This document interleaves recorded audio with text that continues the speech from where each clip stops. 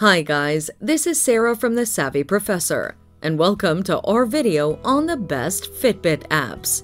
You'll find the links to the apps in the description. Make sure to watch until the end to know our verdict on which Fitbit app is best from the list and why. Let's get started with AccuWeather, best for weather forecasts. This app gives you access to weather forecasts in your local regions and worldwide. The forecasts are detailed and are updated hourly to ensure the accuracy and reliability of the data given. Installing this on your Fitbit will allow you to schedule the best outdoor exercise time. The app also has a variety of up to 23 languages you can choose from. The other great thing about this app is that there are no subscription fees, and you get to enjoy its offerings for free.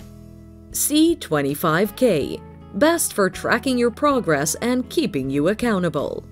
This app will help you go from getting in shape by word of mouth to getting in shape by putting in the work. The app is designed to help you grow from a beginner to an avid runner by customized specific goals for you to attain. The app cheers you on and keeps you accountable by tracking your activities and progress, helping you to reach the fitness goals you've set for yourself. Before you start a session, the app gives you a motivational quote to power you through and keep you in the right mindset while you exercise. It also makes it possible for you to play music or use another app while it's running in the background.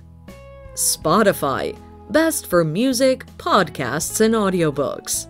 This is a digital music app, and having your favorite tracks play while you work out makes it more fun and less tedious. Spotify allows you to create a personalized playlist for any activity you might decide to indulge in.